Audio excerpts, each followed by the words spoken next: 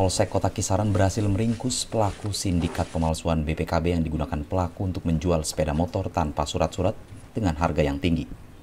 Arman Rido, 28 tahun warga desa Silomlom, kecamatan Simpang 4 Asahan, Sumatera Utara ini tak lagi dapat berkutik setelah petugas Polsek Kota Kisaran meringkusnya atas keterlibatan dalam kasus pemalsuan dokumen kepemilikan kendaraan bermotor.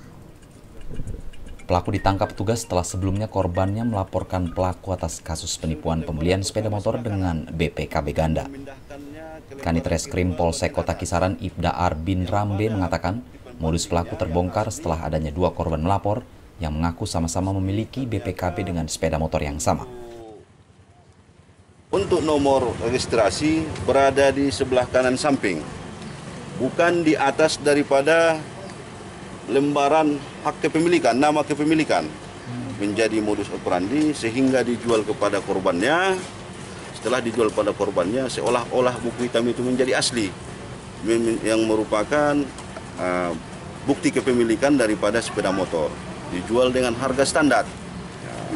Dengan itu, para korban membuat laporan di Polsek Kota, lalu kita proses.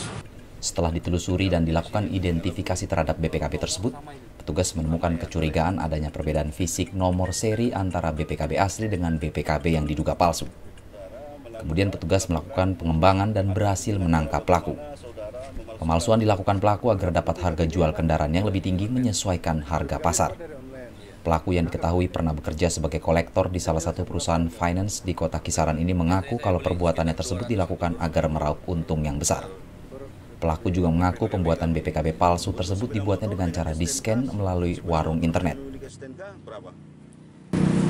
Biasanya saya menjual sepeda motor ini hanya permintaan dari pemilik sepeda motor, nggak pernah saya beli. Nggak belinya, beli. Beli, beli. Nggak, nggak, nggak beli.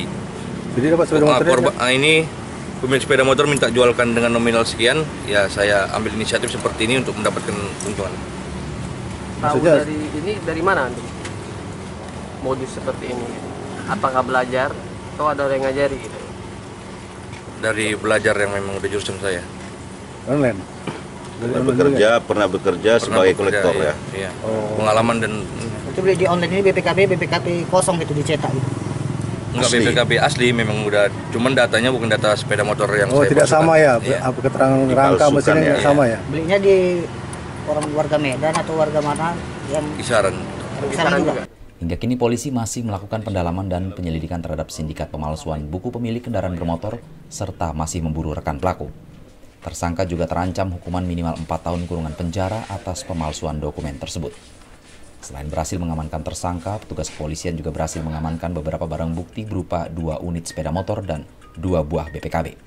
Dari Sumatera Utara, Abdul Rashid Tribrata TV, Salam Tribrata.